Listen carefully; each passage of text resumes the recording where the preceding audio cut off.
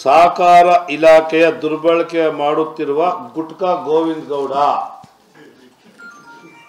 ಸಹಕಾರ ಇಲಾಖೆಯನ್ನು ದುರ್ಬಳಕೆ ಮಾಡುತ್ತಿರುವ ಗುಟ್ಕಾ ಗೋವಿಂದ ಗೌಡ ನಾನು ಎರಡು ಸಾವಿರದ ಆರರಲ್ಲಿ ಕೋಲಾರಕ್ಕೆ ಬಂದಿದ್ದು, ಜನವರಿನಲ್ಲಿ. ಮಾರ್ಚಲ್ಲಿ ಸಮಾವೇಶ ಮಾಡಿದ್ದು. ಎಷ್ಟು ವರ್ಷ ಆಯಿತು? ಒಂದು ನಾಲ್ಕು, ಒಂದು ಹತ್ತು, ಹದಿನಾಲ್ಕು, ಒಂದು ಎರಡು. ಹದಿನಾರು ವರ್ಷ.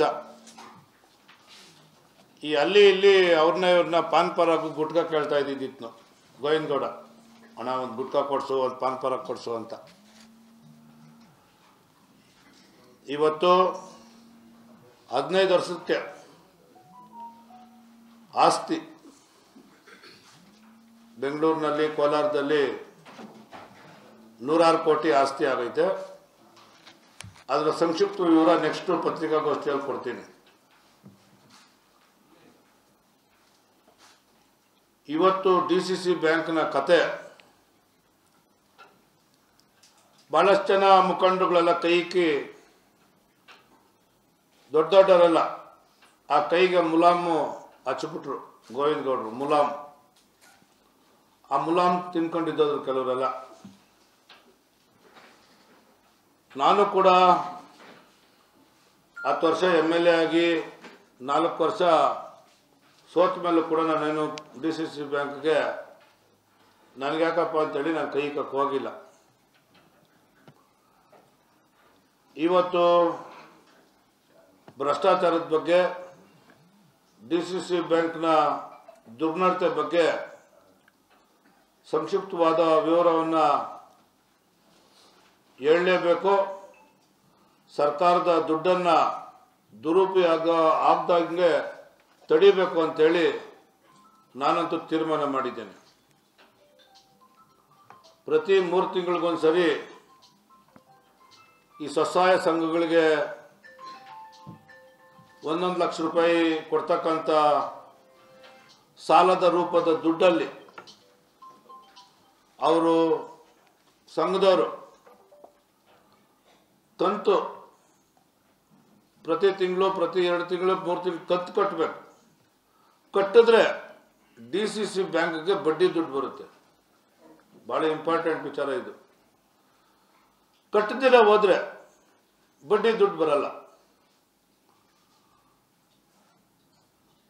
ಗೋವಿಂದ ಗೌಡ್ರು ಎಲ್ಲ ಸ್ವಸಹಾಯ ಸಂಘದವರು ಕೂಡ ಸರಿಯಾದ ಟೈಮ್ಗೆ ದುಡ್ಡು ಕಟ್ತಾ ಇದ್ದಾರೆ ಅಂತೇಳಿ ಸುಳ್ಳು ಮಾಹಿತಿಯನ್ನು ಸರ್ಕಾರಕ್ಕೆ ಕೊಟ್ಟು ಪ್ರತಿ ಮೂರು ತಿಂಗಳಿಗೊಮ್ಮೆ ಏಳು ಕೋಟಿ ರೂಪಾಯಿ ತಗೊಂತಾರೆ. ಏಳು ಕೋಟಿ. ಯಾರು ಇನ್ ಟೈಮ್ಗೆ ಮರುಪಾವತಿ ಮಾಡಲ್ಲ ಸಾಲ, ಅಂಥ ಸಂಘಗಳಿಗೆ ಸರ್ಕಾರ ಬಡ್ಡಿ ದುಡ್ಡು ಕೊಡಲ್ಲ. ಆದರೆ ಇವರು ಅವರು ಕಟ್ತಾವ್ರೆ ಅಂತೇಳಿ ಮಾಹಿತಿ ಕೊಡ್ತಾರೆ.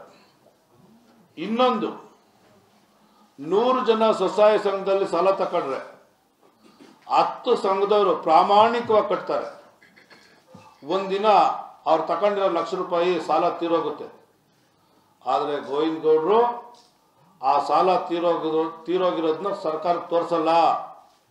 ಇನ್ನೂ ಸಾಲ ಐತೆ ಅಂತೇಳಿ ಅದ್ರ ಮೇಲೂ ಕೂಡ ಸಾಲ ಬಡ್ಡಿ ಬಡ್ಡಿ ದುಡ್ಡು ತಗೊಂತಾರೆ. ಎರಡನೇದು, ಬಡವರಿಗಾಗಿ D C C bank M L ಎಗಳಿಗೆ, M ಪಿಗಳಿಗಲ್ಲ ಸ್ತ್ರೀಶಕ್ತಿ ಸಂಘಗಳಿಗೆ ತೊಳ್ಳೋ ಗಾಡಿಗೆ ಬಾಳೆಹಣ್ಣು ಮಾರೋರಿಗೆ ಇಡ್ಲಿ ಮಾರೋರಿಗೆ ದೋಸೆ ಮಾರೋರಿಗೆ ಎರಡು ಎಕರೆ ಮೂರು ಎಕರೆ ಐದು ಎಕರೆ ಜಮೀನು ಇಟ್ಟಕ್ಕಂಥ ರೈತರಿಗೆ D C C bank. Srinivas ಗೌಡ್ರಿಗೆ, ರಮೇಶ್ ಕುಮಾರ್ಗೆ ಎಂ ಎಲ್ ಸಿ ಅನಿಲ್ ಕುಮಾರ್ಗೆ, ಎಸ್ ಎನ್ ನಾರಾಯಣ ಸ್ವಾಮಿಗೆ ಐವತ್ತು ಕೋಟಿ ಸಾಲ ಕೊಟ್ಟಿರೋದು. ಐವತ್ತು ಕೋಟಿ. ಈ ಐವತ್ತು ಕೋಟಿಯಲ್ಲಿ ಇವರೇನು ಮೂರು ತಿಂಗಳಿಗೊಂದ್ಸತಿ ಬಡ್ಡಿ ದುಡ್ಡು ಬರ್ತೈತಲ್ಲ ಆ ದುಡ್ಡಲ್ಲೇ ಇ ಎಂ ಐ ಕಟ್ಟೋದು, ಈ ಲೀಡರ್ಗಳದ್ದು ಮಿಗಿಲಿ ದುಡ್ಡು ಗೋಯಿಂಗ್ ಗೌಡ್ರು ಸಹ ಕೆ ಜಿ ಎಫ್ ಹಾಕೋದು ಇನ್ವೆಸ್ಟ್ಮೆಂಟ್ ಪ್ರತಿ ದಿನ ಎರಡು ಲಕ್ಷ, ಮೂರು ಲಕ್ಷ, ಐದು ಲಕ್ಷ ರೂಪಾಯಿ ಜನರಿಗೆ ಅನಿಸ್ತಾನೆ ಬ್ಯಾಂಕಲ್ಲಿ. ಪ್ರತಿದಿನ. ಯಾರಪ್ಪನ ದುಡ್ಡು? ಏನು ಟೊಮಾಟೊ ಸಾಕಿದ್ನ? ಕೋಳಿ ಸಾಕವನ? ಇಲ್ಲ ಕಂಟ್ರಾಕ್ಟ್ ಕೆಲಸ ಮಾಡ್ತಾನೆ. ಗೋವಿಂದಗೌಡ ಪ್ರತಿದಿನ ಎರಡು ಲಕ್ಷ, ಮೂರು ಲಕ್ಷ, ಐದು ಲಕ್ಷ ದಾನ ಮಾಡೋದು ಯಪ್ಪ. ಎಲ್ಲಿಂದ ದುಡ್ಡದು ಡಿ ಸಿ ಸಿ ಬ್ಯಾಂಕ್ನ ಅವ್ಯವಹಾರ ದುಡ್ಡು. ಇದ್ರ ಜೊತೆನಲ್ಲಿ ಏನು?